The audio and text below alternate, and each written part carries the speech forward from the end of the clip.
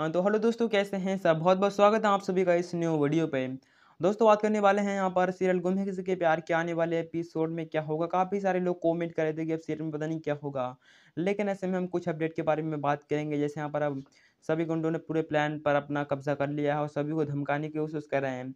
तो इस बार जैसे कि आपको प्रेमो में ये भी देखने को मिला था कि यहाँ पर अश्विनी आंटी को एक गुंडे ने गन सेफ़ अटैक किया तो उनके मतलब वो गन को लगी या नहीं, इसके बारे में थोड़ा डिस्कस करने वाले हैं।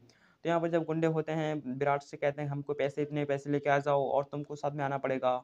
उनका ऐसा प्लान होता है कि अब विराट को यहाँ पे बुला लें और उसको मौत के घाट उतार देंगे। तब यहाँ पर सही चिल्ला के बोलती है कि तुम विराट को क्यों मारना चाहते हो? मतलब वो एक मैसेज देना चाहती है विराट को। आपको सही की चाल समझ नहीं आई होगी, लेकिन मैं आपको बताना चाहूँगा, वो मैसेज देना चाहती थी विराट को कि विराट यहाँ पे ना आए और कहीं ना कहीं विराट को सही की वजह से ये पता भी लग चुका है कि हाँ वो गुंडे क्या प्लान कर रहे थे।